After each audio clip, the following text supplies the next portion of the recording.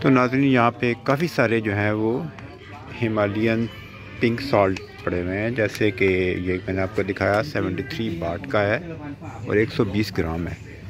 اور اس کے علاوہ یہ بھی ہے ہمالین پنک سالٹ یہ کھیوڑا کے نام سے ہے۔ اور یہ بھی پنک راک سالٹ ہے۔ تو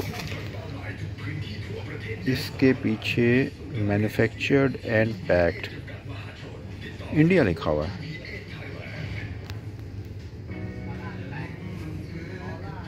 See manufactured and packed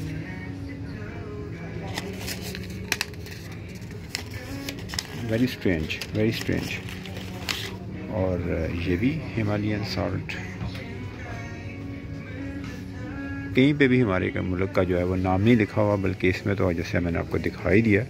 ہمارے ہم سائے کا نام لکھا ہوا ہے۔ Very strange